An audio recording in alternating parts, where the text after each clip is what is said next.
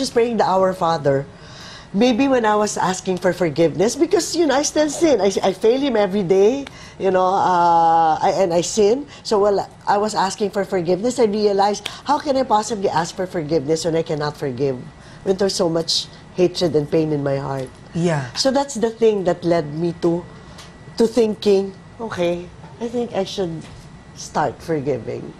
And how did you start forgiving? And then uh, Okay. with my spiritual mentors, uh, I was telling them, you know, I was confiding with them Now, you know, there's a feeling that I want to forgive. But it was very difficult also, Karen, because the first reason why I hesitated was that, okay, if I think of forgiving him, am I turning my back on my mom?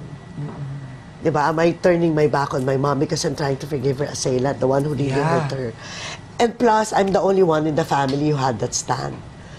My, my, my, my sister, my eldest sister, my eldest sibling would go, Are you crazy? Of Why are you thinking of Yeah. forgiving our mother's assailant? Oo, oo, and oo. so, The murderer. The murderer of our mother, the killer of our mother. Yeah. And so I had to go, you know, I had to, my spiritual mentors, they were saying it's a process, you know, if, if you're at it, you, you you want to start forgiving it, then maybe you can process it and think about it. And then I started giving talks in Mm-hmm. different organizations and parishes. I called it my pathway to forgiveness. Okay. So I would share to them that it was in, in my mind and in my heart that I want to forgive. And so I was asking them also to pray for me that I hope I eventually do forgive him Wow. until this happens. Okay, you know what's amazing is the, the, the title of the documentary is Radical, Radical Love. Love. Because you also did something quite radical, which is to visit. You actually Yes. visit your mom's killer in Muntinlupa at may dala ka pang pasalubong. Okay, can you can you take us there? I mean, how yeah, did that radical happen? love actually is a, a part of my talk. So because I was, I kept on saying that, you know, I think you know we should be radical in our love because the second time I met him when he was convicted, Karen. So I tried talking to him. So I was asking In him, court? in court. Oh, wow. But I used my charms kasi bawal. But oo, oo. sabi ko, can I just talk to him for five Oo. minutes?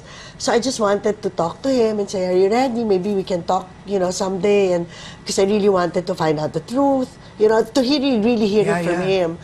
And then so, okay, okay, let's pray. Sabi ko, so, you know, we can, you know, be both enlightened and, you know, and so we were praying. So anyway, fast forward, while I was in the car with my niece, I was telling my niece, you know, I was praying with him. And, you know, my intentions were really good, diba? But I, I still felt this negative thing. You? And- yeah, me.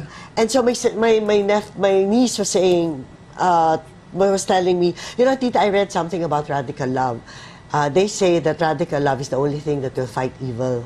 And so that became part of my talk. That radical love is the only thing that will fight evil.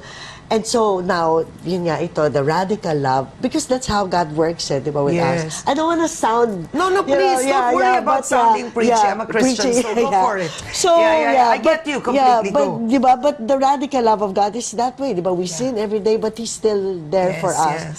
And so, and then giving my talk, I realized also, Karen, yun na pala yung restorative justice, what I'm doing. You know, that I'm going for my healing as a victim and the reformation of my offender. Good God.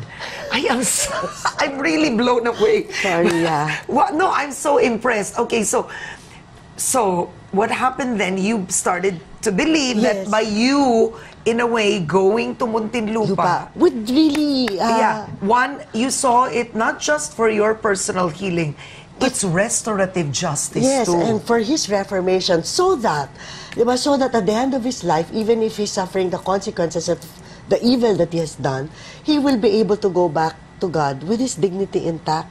Because he was basically made good, right? So everybody deserves a second chance. And, uh, wow, how did you do it? I mean, before you went to Muntinlupa, did you what? Did you fast? Did you pray? Yes, You yes. did- I was yeah. thinking. Yeah, I fasted. You I must have prayed. needed the Holy Spirit. Y- because yeah I- yeah because go. yeah to go and to, to to face whatever I should be facing Yeah.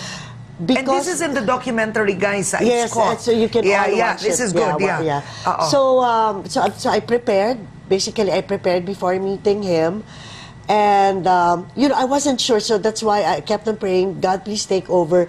Because I wasn't sure, since we made the documentary for like two years, so his disposition, like about a year ago, is different from maybe his disposition now. So whatever I will find out or whatever I will face, I just hope that I can just go through my intention. So I was just really praying, please take over. You know, if, if, if there's something negative, just take over and let me be able to finish the work, to Yeah. forgive him. So what was it like? You entered Muntinlupa, you Yeah, saw wait- him. Yeah, waited for him. Yeah, and what was the, the first thing May pasalubong kang yeah, dala.